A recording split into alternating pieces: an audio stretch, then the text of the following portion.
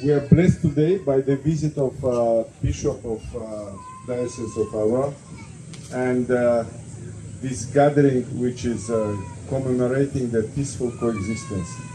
Uh, o galanda kullu mubarak uh, bejara bita motoran bita arua lennas kullu alija alela uh, yomta alela de de biseja lenda guata alquest benanda una sadu belet guata salam I would like to thank everyone for all the commitment, efforts in the area of peaceful coexistence.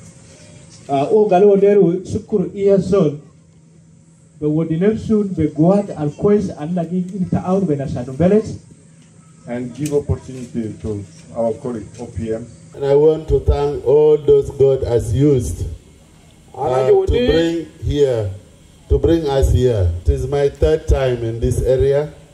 The first time was 2018 when I went to where we are now have a church, which I opened on, uh, I think 16.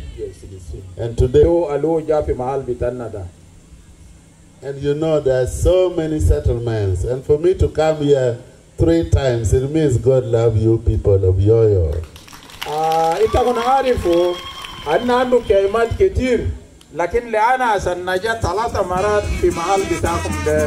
دي معنى